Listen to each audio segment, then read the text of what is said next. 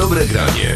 Pojawił się Bartek Wojtkowski, znany lepiej jako Wojtas. Cześć. Cześć, witam, hej. No i właśnie, z jednej strony jest Turet TV, jest Wojtas versus Rap gra, no ale też ostatnio um, zacząłeś współpracę ze Step Records, można powiedzieć gigantem z naszego regionu bez obaw. E, i przygotowywaliście e, charytatywny klip e, w bardzo szczytnym celu, zresztą był pomyślany, dlatego że miał pomóc Agnieszce Okoń, e, która mieszkała w Opolu, była mieszkanką naszego regionu. Niestety już za bardzo jej pomóc się nie da. Agnieszka Okoń przegrała walkę z nowotworem.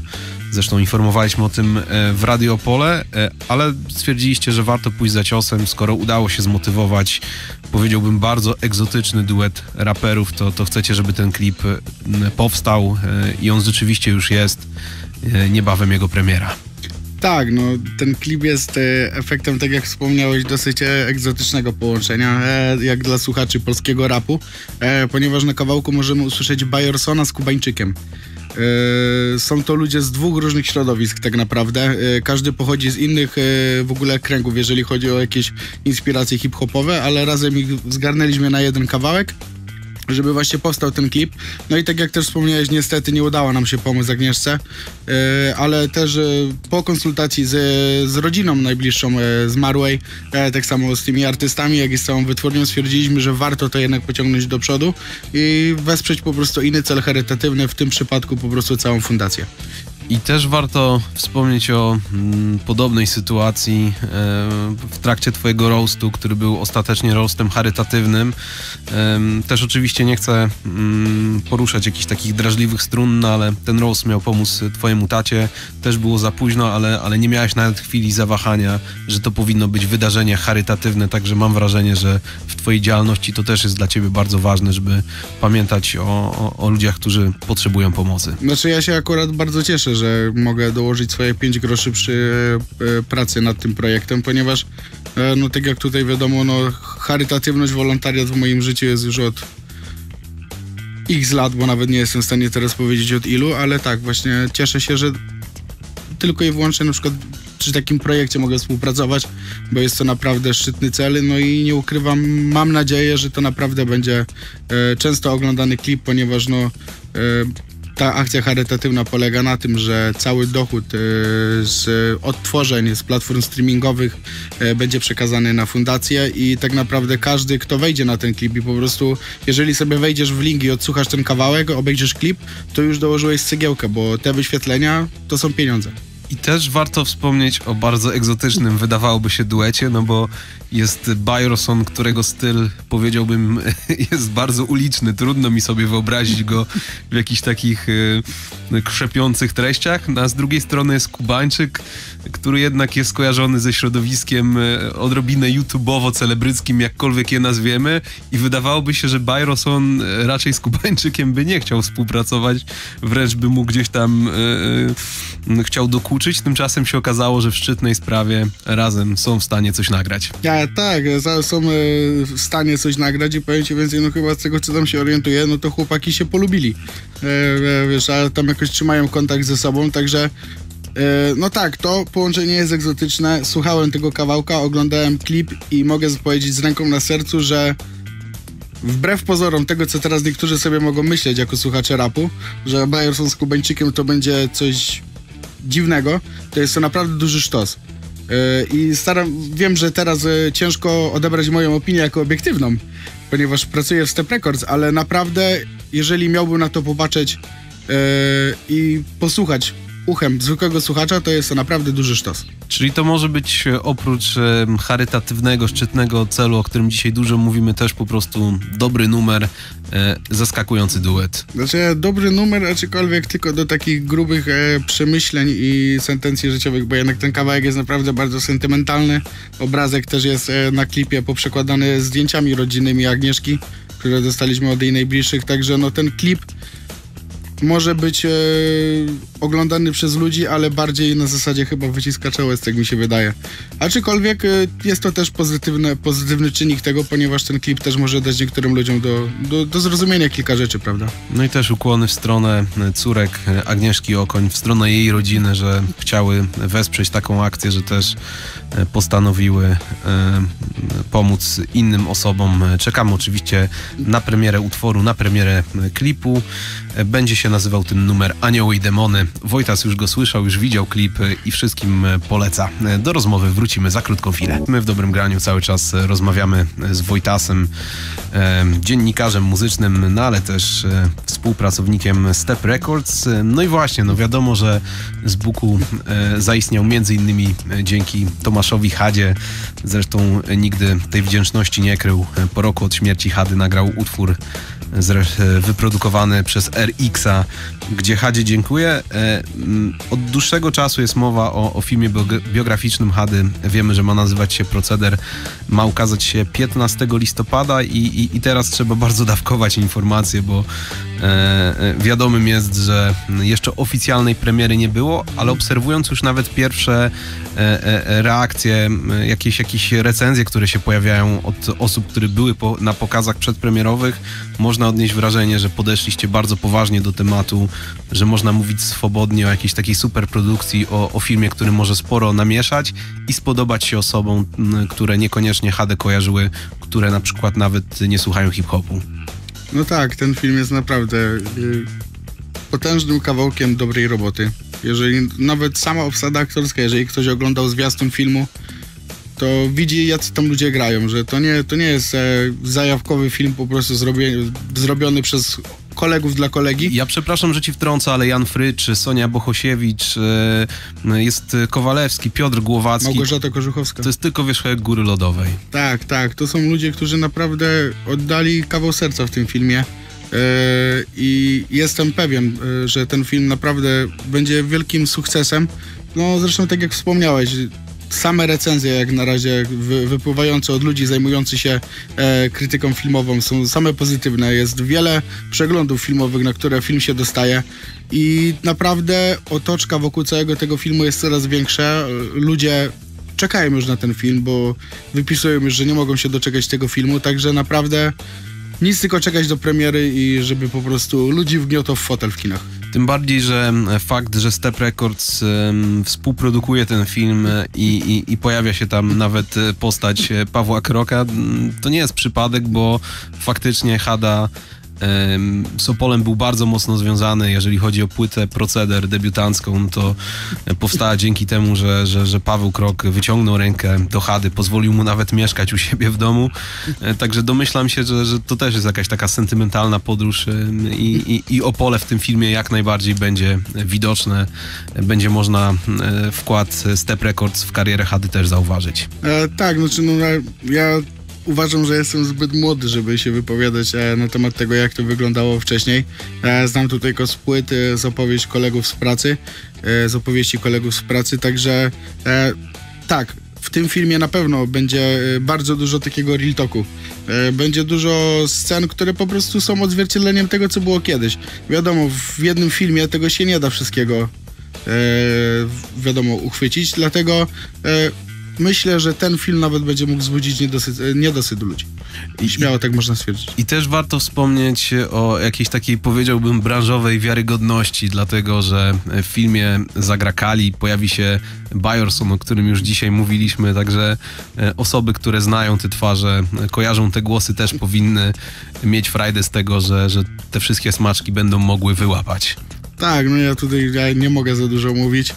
E, byłem na wewnętrznej premierze tego filmu w Warszawie, widziałem to, e, dlatego mówię pełni świadomie, odpowiedzialnie, że jest to naprawdę e, kinowy hit, można tak stwierdzić. W Polsce na pewno się to odnajdzie bardzo dobrze, dużo ludzi będzie to oglądało, a role wspomnianych przez ciebie raperów również powinny zainteresować ludzi, ale tak jak mówię, nie mogę nic już więcej mówić, Oczywiście. ponieważ jest to tajemnica.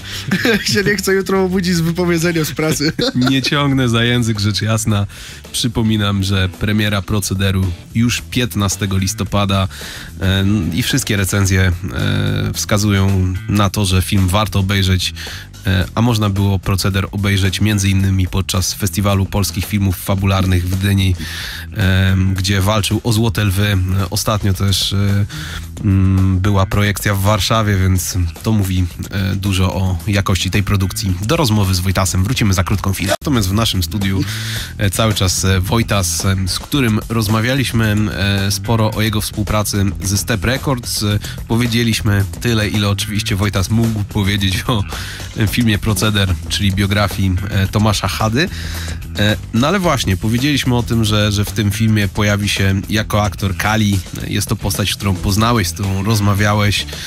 E, warto o tym wspomnieć, że też działasz jako dziennikarz muzyczny i, i prowadzisz cykl serii Wojtas vs Rap Gra. E, pojawiło się tam bardzo wielu znanych raperów, no ale widziałem e, ostatnio taki wręcz viral się pojawił e, twój wywiad z Nocnym Kochankiem i, i to było zaskakujące, bo chyba nikt się nie spodziewał, że zespół metalowo-prześmiewczy na twoim kanale może się pojawić. No tak, znaczy ja już jakiś czas temu zacząłem gdzieś tam ludziom powoli dawać e, do zrozumienia, że nie tylko raperzy będą się pojawiać na kanale. E, z Nocnym Kochankiem akurat było tak, że no, jestem zagorzałym e, słuchaczem e, rapu i reggae, aczkolwiek no, Nocny Kochanek ma na tyle specyficzną muzykę, że po prostu zakochałem się w niej od razu, można powiedzieć, i naprawdę uwielbiam tą muzykę. Można jej słuchać w każdym humorze za każdym razem wpłynie pozytywnie na człowieka. No i rzeczywiście spotkaliśmy się w Opolu.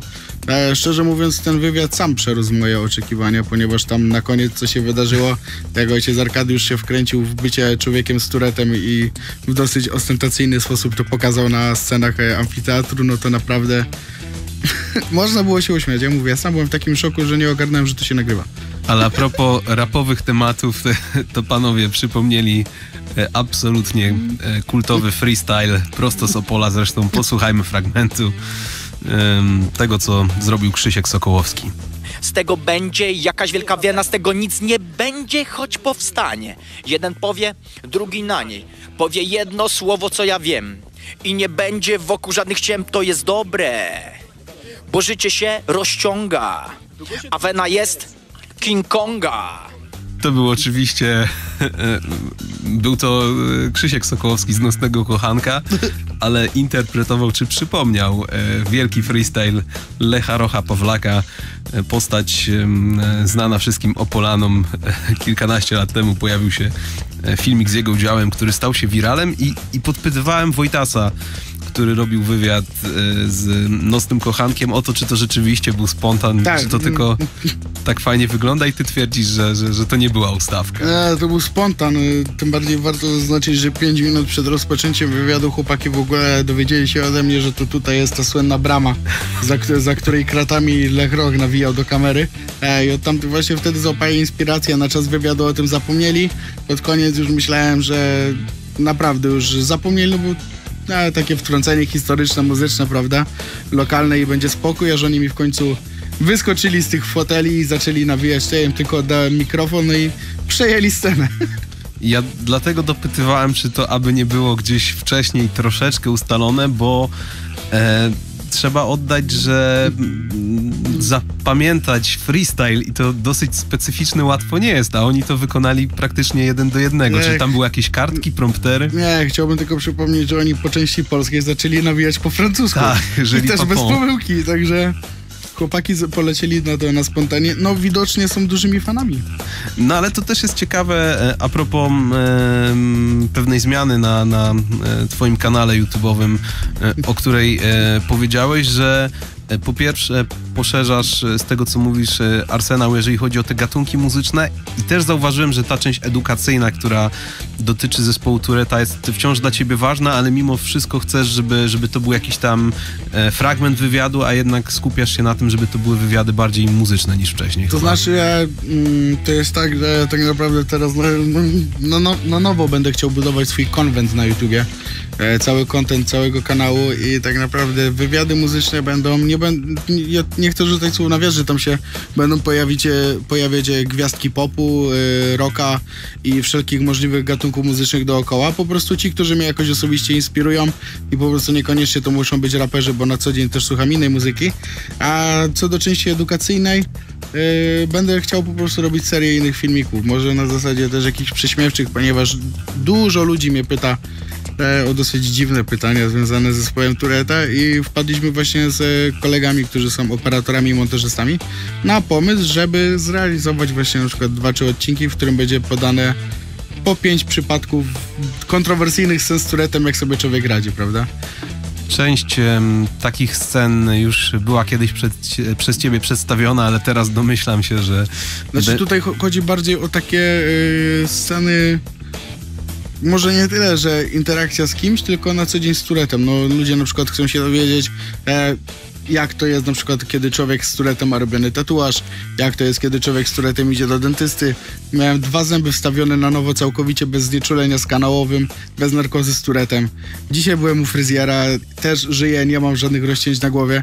Także takie podstawowe rzeczy, bo jednak y, nam się może to wydawać teraz błahe, ale dla ludzi, którzy nie mają na co dzień do czynienia z turetem jest to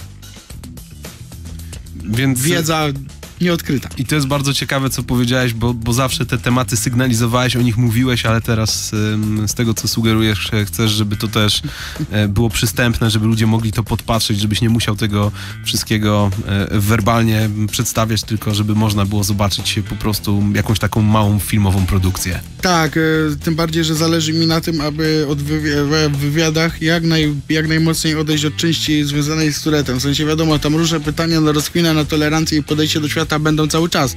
Ale nie chcę już rozmawiać o turecie, ponieważ ludzie już nawet do mnie z YouTube'a zaczęli pisać, że Yy, na, na początku te pytania o turecie były spoko, bo dużo ludzi mogło nie kojarzyć, a teraz jednak te wywiady już wysz, weszły na jakiś wyższy level. Yy, ja też się rozwinąłem, jeżeli chodzi o gadkę, sposób rozmowy z takim e, artystą. Także po prostu były prośby od ludzi, żeby już nie tak koniecznie drążyć temat tego tureta, bo jednak mimo wszystko każdy raper praktycznie odpowiadał to samo na ten temat, e, więc po prostu chcę to ująć w innej części w ogóle odrębnej na kanale, żeby po prostu ludzie mieli do tego swobodny dostęp i żeby też, to, żeby to też były na przykład materiały przyszłościowe, które na przykład przeciętny nauczyciel w szkole średniej czy w gimnazjum będzie mógł puścić na lekcji wychowawczej klasie, żeby się po prostu pośmiali i jednocześnie zrozumieli.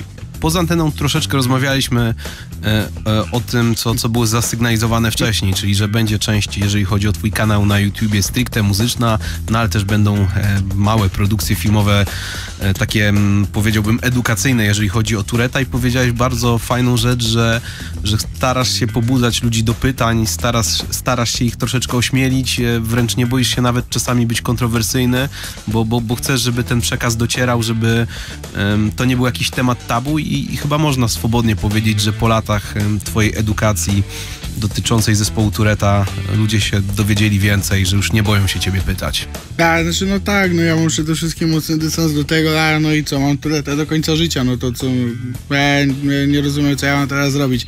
Co, że jeżeli stwierdzę, że nie chcę mieć turetę i tak dalej, no to co, pomarudzę ile? Miesiąc, rok, dwa, ale za te dwa lata ten turet dalej będzie, a ja będę mógł dalej marudzić. Także biorę życie jak leci, akceptuję je, no mam tureta, no co, no inni mają inne choroby, ja mam tureta, no przynajmniej mam cały zespół, jest, jest, jest komu pomagać, nie? Mogłeś zagrać na Poland Rock E, nawet. e, tak, e, miałem swoje wykłady na, na, jeszcze na Woodstocku, teraz już Poland Rock, e, ale właśnie e, propos tych filmików, tak, chcę, chcę to robić, ponieważ e, dla nas, e, znaczy dla nas, ja tak sobie to, ostatnio dużo nad tym myślałem i dla mnie dużo rzeczy oczywistych związanych z Turetem niekoniecznie musi być dla normalnych, znaczy normalnych, też jestem normalny, ale dla ludzi bez Tureta to może, może być zupełnie coś nowego, zupełnie coś e, tajemniczego, bo mówię, dla mnie codzienne funkcjonowanie takie jak ogolenie się, pójście do fryzjera, czy po prostu do dentysty, na tatuaż, dla mnie to jest coś normalnego, ja wiem jak tym funkcjonować, ale ile ludzi mnie zobaczy na przykład, patrzy, że mam tatuaże i oni się, pierwsze pytanie to jest jak? Jakim cudem? Przecież ty masz tureta. Więc tutaj naprawdę przyda się ta część edukacyjna. No mówię, trochę lat już to robię, widać e, postępy, ponieważ e, też mocno działa Polskie Stowarzyszenie Tureta z Warszawy i oni też e, dosyć dużo dają, ale widać efekty chociażby po tym, że ostatnio się pokazał jeden chłopak w telewizji z turetem i dosłownie minutę po tym, jak się pokazał, już dostałem 10 telefonów, że kolega po fachu na wizji. Czekamy na kolejne filmy na kanale Turet Crew, ale też czekamy na przedsięwzięcia Step Records. Przypominam, e, niedługo premiera klipu Bajersona i Kubańczyka do utworu Anioły i Demony. 15 listopada proceder o Hadzie. Jeszcze Wojtas chce coś zapowiedzieć. Że kanał na YouTubie nazywa się Wojtas. Prostu Wojtas, przepraszam bardzo, logo to jest Turet Tak, Crew. tak. Wielkie dzięki za wizytę. Dzięki wielkie, hej. dobre granie.